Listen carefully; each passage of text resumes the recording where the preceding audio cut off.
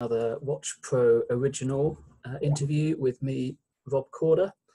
Um, I'm the editor of, of, the title. I'm meeting today with Mike France, who's the managing director and co-founder of Christopher Ward Watches, uh, an online-only uh, digital native watch brand uh, based in the UK, but which owns its own uh, assembly and manufacturer in uh, in Switzerland. So, uh, as an online-only brand, we will find out whether this is uh, whether the current coronavirus situation is making them a little bit more resilient because they don't have retail partners with their doors closed to worry about.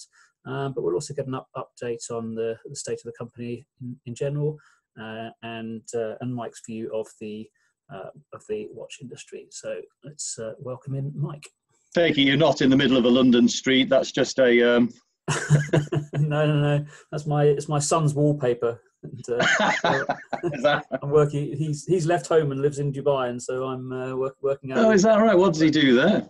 He works for the same company as me. He's a journalist as well. So, uh, but he's writing oh, about oh, the hotel industry, just as you know, start, starting out in his career, sort of internship mostly. Um, is that right? Yeah, interesting. That being given the uh, hotel industry's uh, not uh, not uh, not uh, is well, it's probably one of the worst affected uh, sectors, isn't it? Well, hotel industry in Dubai is a pretty brutal industry to be in at the moment because because there's no flights coming in and out of it there either, yeah. and the oil prices in the toilet, and yeah, there's a few headwinds, shall we say?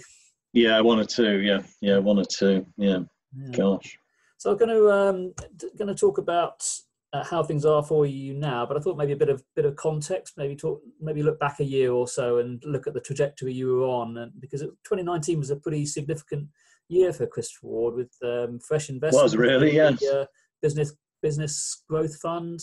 Um, one of your founder, you know, the, one of the three men in a boat, one of your founders. Yeah, one, one, of them jumped ship. The man who gave Christopher Ward its name. Uh, oh, oh, yeah. So, so he, or he fell in. so, so, so tell me about 2019. Let's let's see how you were doing until the coronavirus thing hit. Uh, we, well, it was a it was a it was a good year for us. I mean, uh, um, both eventful, as you say, uh, particularly in terms of bringing in the new investment from BGF. Uh, first time uh, it wasn't just Peter and I putting money into the business, which was rather nice. Um, so, um, and I think uh, in some ways very fortuitous in terms of its timing, given what uh, we're currently suffering uh, as a as a world. Um, so, um, uh, yeah, no, we uh, the the we completed that deal. I think uh, the end of July, beginning of August. Um, and um, we finished the year sort of plus 19% on the year, which was uh, bang in line with our plan, uh, despite the, the very back end of the year. We are our year end finishes at the end of March, so uh, we had the uh, the back end of uh, of, um, of, the last week or two, which was uh, coronavirus affected, uh, and it was those early days when I think the the most significant impact of coronavirus were felt by us um, when people really didn't know what the hell was going on. Hmm. Um, and we actually closed the business for two days whilst we uh, regrouped, um, then reopened. We sorted out the um, sorted out the um, the social distancing within the office. We took the view um, as a board uh, immediately that um, uh, we wanted to continue uh, where possible to trade. It was clear ultimately from the government's uh, pronouncements that um, uh, they were keen and indeed encouraging online businesses to, con- to continue trading. We needed no no no such encouragement. Really. Sure. Um, and uh, we reopened uh, two days later with a skeleton staff. And uh, over, we've become very uh, very proficient around um, running under the social distancing um, requirements. Mm. and over time, over the sort of five weeks of of confinement for us all, we've gradually increased the staffing levels. And uh, this morning at the uh, at our uh, what we call our morning prayers meeting, which we have at eight thirty by uh, by Zoom, uh, my my agenda for the week was, uh, or for the next few weeks is, and certainly for this week is right. Let's let's really now get serious because May the seventh onwards, fingers crossed. although we haven't had any exactitudes from our uh, our government at the moment. Um, clearly we're going to be in a sort of a, a gradual loosening of lockdown. Mm. Um, clearly, as well, the, the priority will be the safety of, uh, of everybody. But as I say, we've, we've developed a pretty, because we've been trading all the way through uh, versus companies who are um, having to reopen for the first time, maybe in five or six weeks, we're in probably in better shape because we've developed processes and ways of working that I think will enable us to ramp up more quickly. Mm. So um, uh, we're hopeful that uh, that come May the uh, seventh, there'll be um, you know there'll be a, a gradual loosening off. And, and, when you talk about keeping the business working, are you talking about just in the UK or in Switzerland? Because Christopher Ward owns its own assembly and manufacture in Switzerland as well. Yeah, we were we were uh, we were um, one of the very few um, places in uh, in Switzerland that uh, was able again to remain open. We'd uh, we'd we'd um, back in December, early January that whilst we had no idea it would be as serious as uh, it was, as soon as there were indications for instance, our case manufacturers in China, um, and um, we um, we made sure that we were well covered with components, and therefore we had the componentry to continue operating when in Switzerland when uh, when everyone else was closing around us, and the team have done a magnificent job really. Mm. Uh, some of our uh, some of our uh, our atelier in um, in um, in Biel has taken up some of the slack from uh, another another part of our operation down in Ticino. Ticino, which, as you know, is um, is southernmost part of uh, Switzerland on the Italian border, yeah. and some sixty thousand workers daily come across from Italy to work in the watch industry. Um, and of course, that remained open for a fair while. I think there are, if my memory serves me correctly, there are seven crossing points seven border points, and they closed all but two. And while some of the, some of our staff were having to um, uh, queue for up to two hours to get across the border, they were still doing that. Wow. The then they closed the border, understandably. So we moved all of the all of the componentry that was down there into Biel, and uh, continued to uh, to operate only uh, in Biel. Uh, and so far, um, we've not suffered any shortage of, uh, of watches. Um, when Sellita closed, um, they were we were due to we were due to be launching um, this week. In fact, at the back end of this week, um, two chronographs based on Sellita's 330 movement, and they couldn't get those tours before they closed down. Mm. So we had to reshuffle everything um, in terms of the launch program. They'll now come later in the year. and we've pulled forward some other launches. Um, a very uh, a very important one for us uh, on Thursday, um, which I know you know about, but I, we can't talk about in detail. Pulled off by your PR people not to talk about. Yeah, um, but I, uh, um, I think it's arguably the, the most important launch uh, uh, of the first half of the year for us. Um, and it will be, and I don't know if you know this, but um, one of the most exciting things that we've done in the period since lockdown is we, along with the with HM government, are the only other business that has created a TV ad. So from Friday, Christopher Ward will go on television for the with a TV ad promoting our new launch and it's the first TV ad we've ever had. And uh, I have to say, um, the um, the team that's come together to do this have done an absolutely amazing job uh, in what are obviously very unusual circumstances. Yeah. So it's very it's a very exciting week for us in lots of ways. So was that? I mean, that TV advert was that shot before people went into lockdown, and if not, have you got no. you know social distancing, or is it animated? yeah, know. no, uh, no. It was it was shot shot in London uh, over the Easter weekend, five days over the Easter weekend, um, and um, we um, uh, the whole studio. There was only I think five people in the all worked through in terms of um, social distancing and masks and all of that, all the PPE right. that you could uh, imagine, tapes on the floor to make sure that nobody could move across them. Absolutely astonishing uh, job these guys have done. Mm. Uh, and uh, the decision to go on TV, we were we were we appointed uh, part of uh, the reason we, um, in fact, you know, arguably the key reason we brought in uh, BGF uh, was be to fund the growth of the business. Yeah. And the growth of the business largely comes through investment in uh, you know marketing the business across the world, as it were, but also importantly in this country. and since um, December and January, we've been working with um, uh, a, t- a new team of um, of media agencies, um, both um, um, sort of media planning, media buying, creative agencies, and part of this was brought in. I, I appointed uh, a chap called Steve Kershaw to the board as non-executive director back in August, and uh, Steve's background, he was um, uh, an MD with um, with um, BBH, one of the world's great advertising agencies.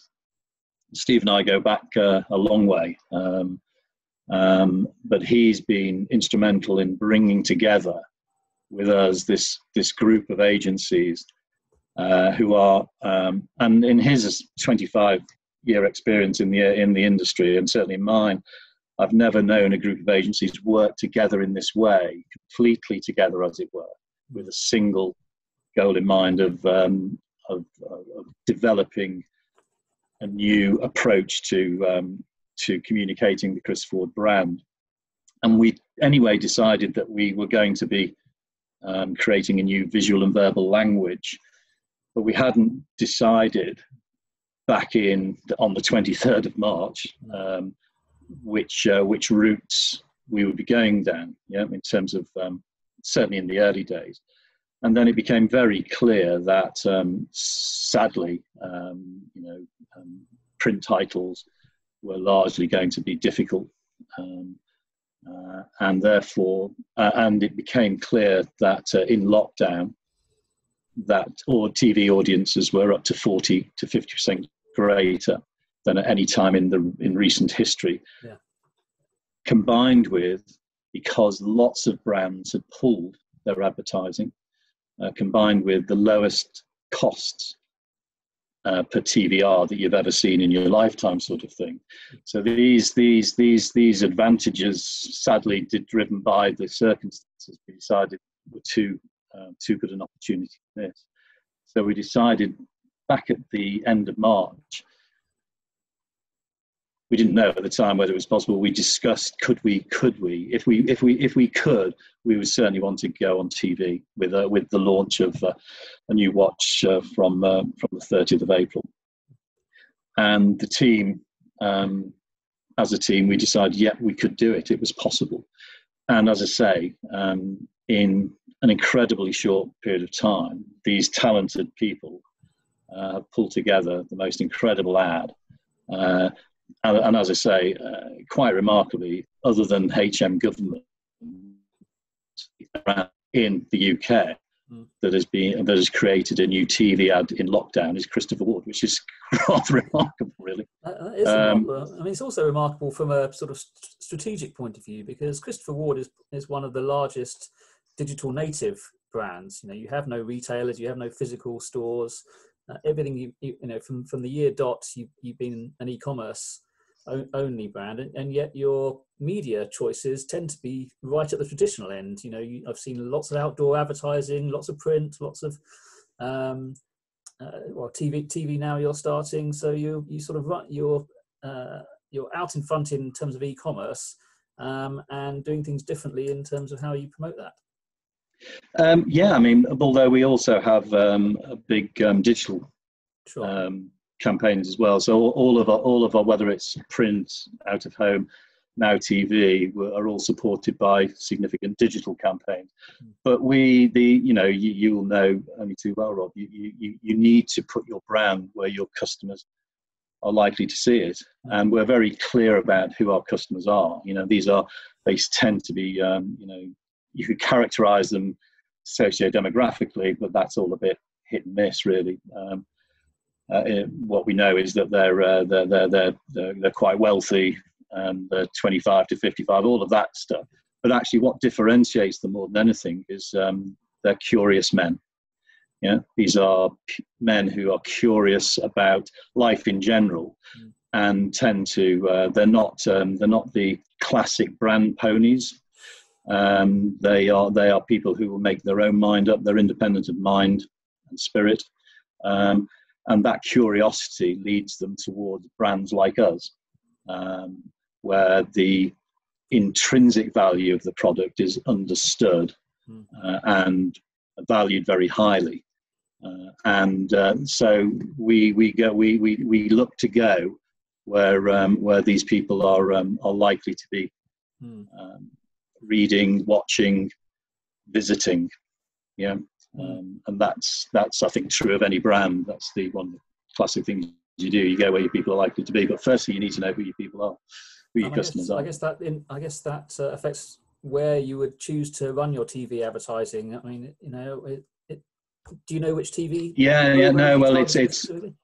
Well, we've we've done a uh, we've done a um, an exclusive deal with Sky, um, and so um, and as you know, these days you're able to. Uh, not only have we uh, um, other, have we managed to get a secure a very um, advantageous deal because of the circumstances, we're also able to make sure we're in prime positions. Um, around exactly the sort of programs that curious men are likely to be watching. So, uh, and the panoply of, um, of channels that Sky have, albeit the, the focus will be on um, Sky One, Sky Witness, um, etc. Um, we will be popping up in the places you'd expect that target customer to be at prime times and in the middle of, um, of programs, not at the edges. So really very well targeted. And in, in normal circumstances, you wouldn't you wouldn't be able to take advantage of these sorts of uh, these sorts of opportunities that are currently uh, currently available. Yeah. Um, so, I mean, it's a, it's an amazing story of of business as usual. It seems seems to me, but I mean, you must have taken a, a hit in terms of production and sales. Um, actually, sales have been pretty good. Great. I know. I know. Um, uh, April will be uh, April. Um, as I say, we, we ended up um, you know, 90% up for the whole of last year to March. April will be stronger than that. And so in some 90, weeks we've been 19 or 90? 19, yeah. 19, yeah. I, I wish you were 90 rather than me. I was going to say. You're a, t- you're a tougher taskmaster than I am.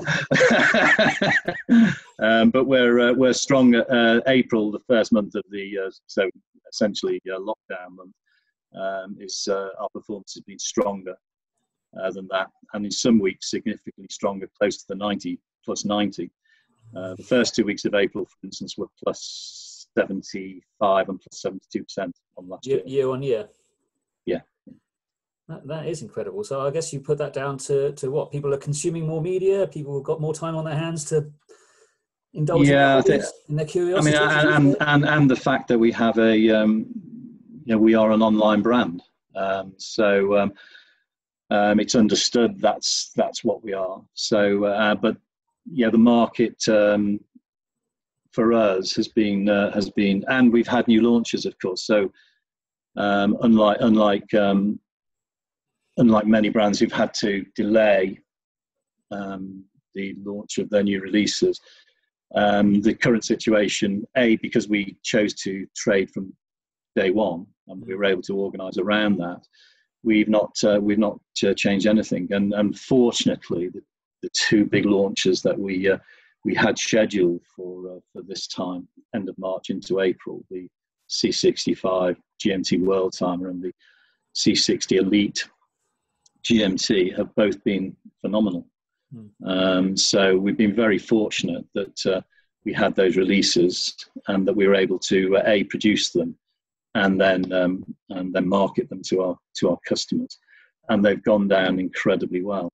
Um, well, you seem, so, to uh, right, you, seem to, you seem to have the right product for the right time as well. In a lot, you know, steel sports watches are still so so hot, and, uh, and yeah, I mean, yeah, I mean, yeah. As well, there's two, there's there's there's a couple of trends. Sports watches are uh, uh, uh, clearly on trend, as you know, and and, and I don't see that uh, slowing down in any time soon. But also this retro, the C65. Um, uh, case encapsulates our retro dive um, collection, and retro is still you, you you know you'll have seen all of the releases that were planned for Baselworld. I mean, you know, if you if you were to say, well, what was the biggest trend going to be in Baselworld? Shock, horror. It's sports watches and retro again, you know. So nothing, nothing, nothing, nothing could change really, and therefore it's still a very hot trend. And you know, I think uh, I think it's a um, it's a really great uh, watch as well. It's a very uh, it just seems to have captured people's imagination, particularly the C65 GMT World Time. Hmm. So um, so yeah, so so a number a number of things have come together fortuitously um, for us at, uh, at a time when it's been very you know very difficult. And let's not uh, let's not um, you know it's also uh, I think testament to the team um, who have um, despite the majority of us having to uh, work from home. Um, and all of us getting very well used to uh, Zoom meetings and the, uh, the, the, the, advantages and limitations of these of, of Zoom um, and Microsoft Teams uh, and Skype. Um, you know, the, the, the, the, attitude has been, well, you don't cut your engine when you're flying into a storm. Um, and uh, the world is littered, as you will know, with examples of um, people being sensibly um, aggressive, you know, yeah. in times, in difficult times, and that's always been my philosophy. I mean, it's bizarre, but I quite like. I've always enjoyed recessions because I've always seen it as an opportunity to gain share, mm. and uh, because most most people's reactions tend to be to go back foot, um, caution, you have to be cautious, but you there's the the the um, a degree of optimism naturally vanishes, and the first budgets that always get cut are marketing budgets, training budgets, and they're always the ones that I insist never get cut. Hmm. So, uh, in fact, we've we've increased our marketing budget, um, which allows us to go on TV. Um, and uh, you know we uh, right right right at this very minute there's a load of training going on on people on the on new systems for our website. So um, you know steve kershaw worked for bbh i mean they're famous for um, zagging when others zig. Um, and, and, and and i suppose that's when i think think back through my career that's always been sort of an approach i've adopted as well that um, as long as you think it through as long as you're not foolhardy as long as you know you've got good product, you've got uh, you're making good decisions. These are the times I think when you can um,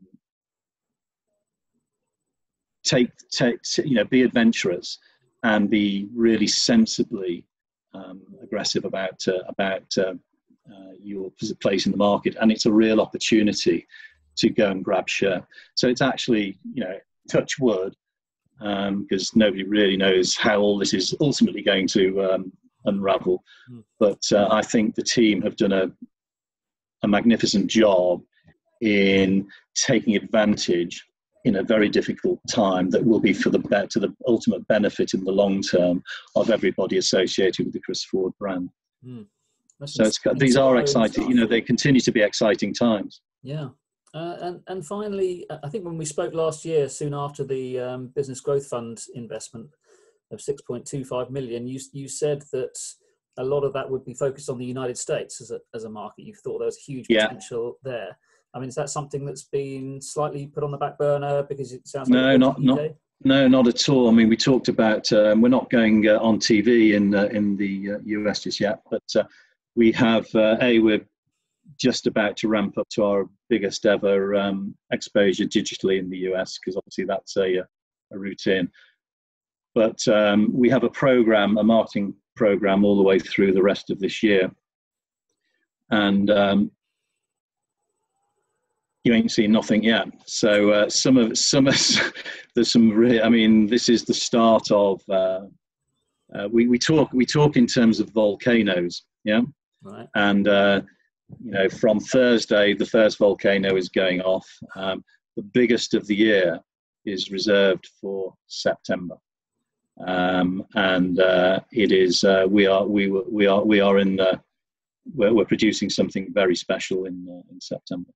Uh, and that will for be, something special for the United States.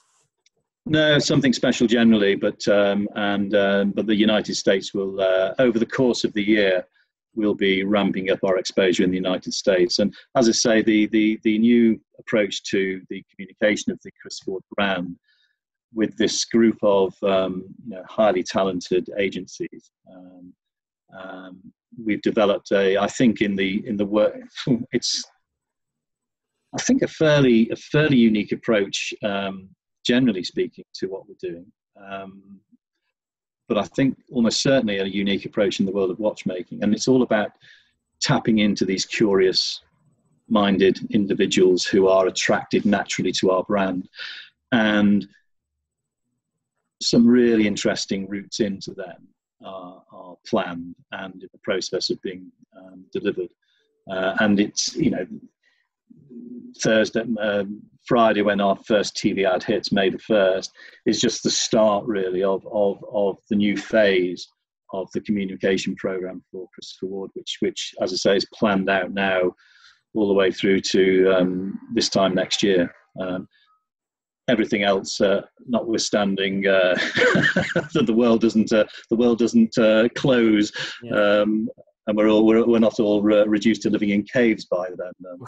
well, fingers crossed for that. But it's great to hear some optimism and positivity, and and indeed. Yeah, well, I, I, I, I think it's really important at this time. I mean, you know, you, you have to be an optimist to be in the watch industry for a start. Mm. Um, so, uh, but naturally, you know, um, um, the uh, well, inter- interesting enough. Our new, our new, uh, our new Loupe, our, our new Loupe magazine um, which uh, launches uh, on Thursday. I don't know if you can see, but uh, my my intro is entitled "We Are Optimists." Yeah, uh, and um, I do think optimism is is you know, a really important value to have, especially in times like this. Our job is um, your job and my job as leaders of businesses is to set a tone yeah. And uh, there's enough uh, there's enough uh, negativity to, uh, to, to to you know around. And actually, I do think that um, those of us who are in a position to and are able to need to set a very sensibly optimistic tone because we will come through this. Mm. Um, there's no doubt about that. And in many ways, I think um, the world and the watch industry within it can and will be stronger. Um, every recession this is beyond a recession, we know that. Yeah. But every downturn um, normally um, ends up with those the strongest um, surviving uh, and getting stronger. And I actually think that sort of re-emergence of strength at the roots of any industry and any society is not a bad thing. And I do think that our society will take benefits from this, which could uh, which could influence generations and I'm optimistic about that, not negative. All right, wonderful. Well, I'm not going to do Joe Wicks every morning. I'm just going to listen back to this interview for inspiration for the day. I, I feel I, I feel uplifted, Mike. no, I'm sure. Well, no, I'm sure. I'm, uh, I'm sure you're the same. Well, we've managed. We've managed not to uh, have any redundancies. We haven't cut anybody's pay. We're still Fantastic. publishing all of we're still publishing all of our titles. Um, there has been a hit to advertising, as you would as you would expect. I know. But, um, I know. You know. If we if we can keep going through all of this while everybody else is uh, shutting up shop, then I think we'll we'll, we'll emerge. Well, I, I, back to strong roots as well, Rob, because it's clear you've got strong roots. And I read, uh, I um, you know, I read, read, I, you know, reading this the other day. Um, and your uh, your perspective, and I, I completely agree with it. It's about people, mm. yeah, and um, you know it's it's not I mean like you we haven't made anybody redundant. We've only furloughed three people and they're only furloughed because uh, they are high risk. Okay. they can't actually work from home. They you know uh, they can't do anything. They can't work from home because of what they do um, mainly in pick pack and dispatch. Uh, therefore you know they're, they're furloughed. Everybody and actually those people who are working we, we're paying a premium to them we're actually wow. giving them a premium. And I do actually absolutely believe in what you said in here. To be absolutely, it's all every industry, every business is all about people. Yeah. Yeah. And uh, this is not a time to do anything other than invest in those people in the best possible way.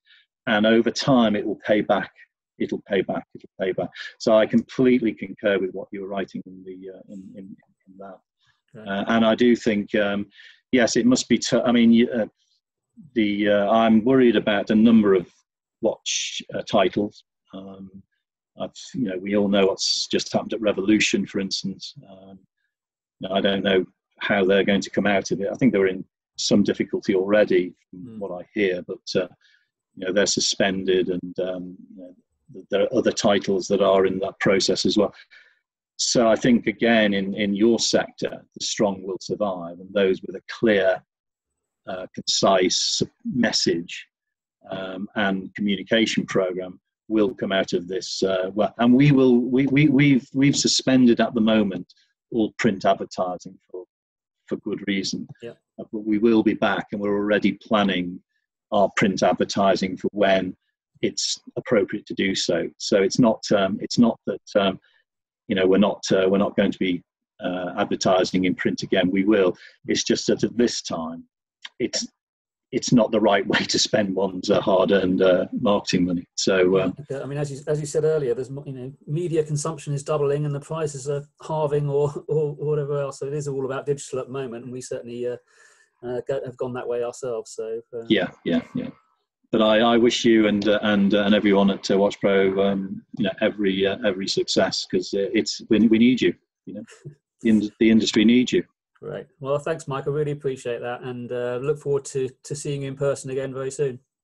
Indeed, Rob. Cheers. Right. Cheers then. Bye.